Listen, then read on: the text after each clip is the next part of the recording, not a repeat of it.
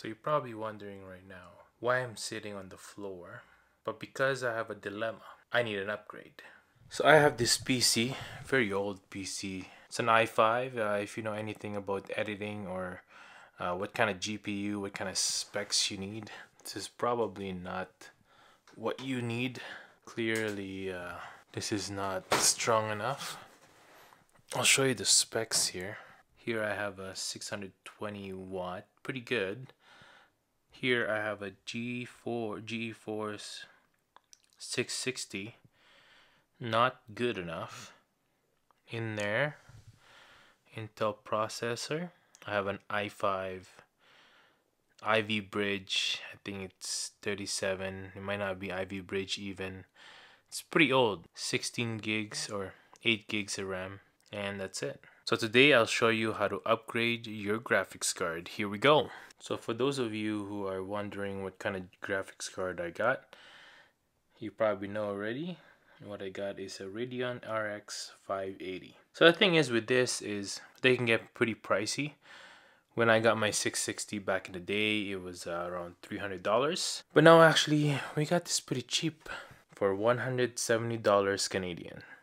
Isn't that amazing? Well, let's go ahead and open it up. So now you're wondering probably how did I get this for $170? I got this used off Kijiji.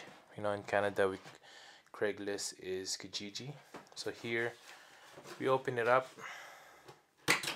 Probably some paperwork. Yeah, there you go. Some CD stuff. This guy actually did pretty well for a used everything's here stickers and everything nothing was gone. Amazing put that even the CDs here which I don't really need. I think I'm just gonna search it up on the internet. But there you go user guide and all that stuff. Put that on the side. We don't really care about that too much. And here we go.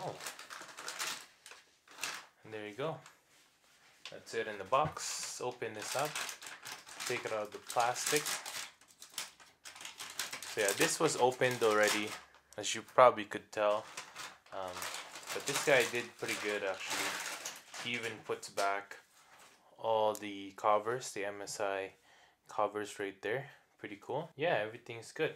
So he only had it for about a month and a half and he didn't use it after that. You go, as you could see there. So first thing we need to do is to take out our old graphics card and install the new one. So pretty easy. You already know. Let's take out the screws over here. I usually just use my thumb to tighten this. No need to uh, over go over crazy on that one. So once that's taken out, you can also take out the power supply for this. There you go. And all you need to do is just pull out the card. Make sure you press this tab or else it won't come off. There you go. When that's once uh, that's all done, now let's install the new one. First, first thing you need to take out is this part right here. Don't forget that, or else it won't go in. And then uh, all you need to do is slap it on.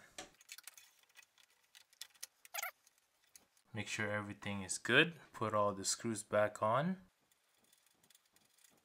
and make sure to put the power supply. Now in this case it needs more power so we'll need to use the other set of cables. At first we didn't have to use that but now we do.